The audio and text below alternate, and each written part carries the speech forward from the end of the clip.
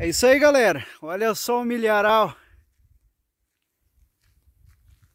Sargento.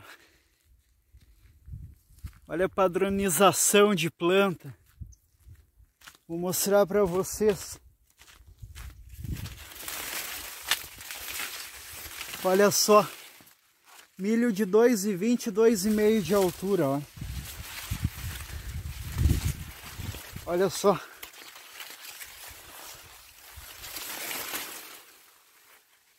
Isso aí, galera. Temos aqui na nossa lavoura de milho a variedade capitão e a gente consegue observar um padrão de sanidade foliar, né? Folhas verdes escuras, sem nem uma falta, digamos, de nitrogênio, de potássio, né? A gente vê desde as folhas baixas, do baixo pé, até as folhas mais altas, uma sanidade foliar, né? Outra coisa, bastante, lembrando que a recém está sendo pendão, né? Algumas nem saiu ainda. E as que estão saindo pendão, sempre com duas espigas, sempre padrão de duas espigas, né? E outra coisa que é bem importante para o pessoal que faz uh, silagem. Olha só o padrão de plantas, olha. Tu entra no meio das linhas, olha. Olha a altura das plantas. Olha só. É um padrão muito bom. Aqui a gente vê já o milho mais desenvolvido, olha. Aqui a gente vê um milho mais desenvolvido, ó, tudo com um padrão de duas espigas por plantas. Olha só coisa mais linda.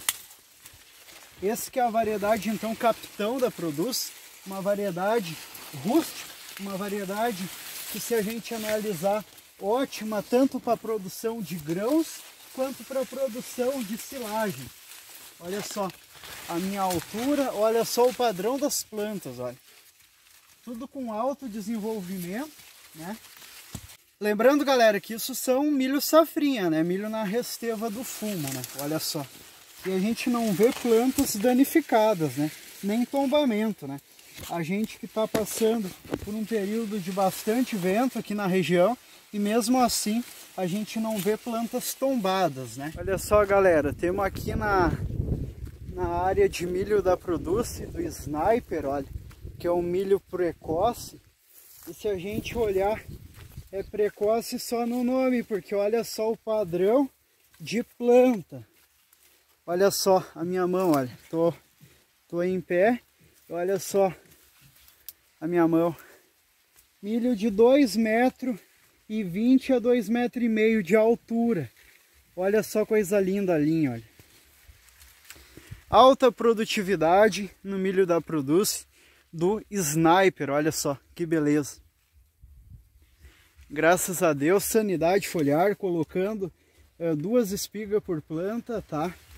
Isso que é muito importante, duas espigas bem formadas para uma alta produtividade, né? O milho recém saindo pendão, então, um, pés que ainda não saíram as espigas, mas os que saíram todos ambos com duas espigas, isso é importante para ter uma alta produtividade, né?